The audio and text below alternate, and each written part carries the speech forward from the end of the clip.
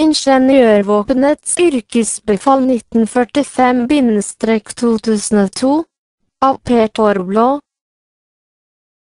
Boken presenterer yrkesbefalet i ingeniørvåpenet i perioden 1945-2002.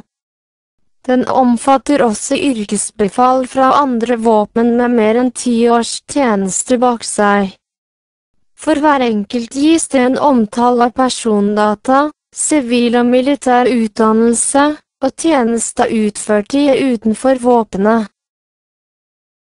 For å lese mer om boken, klikk linken under.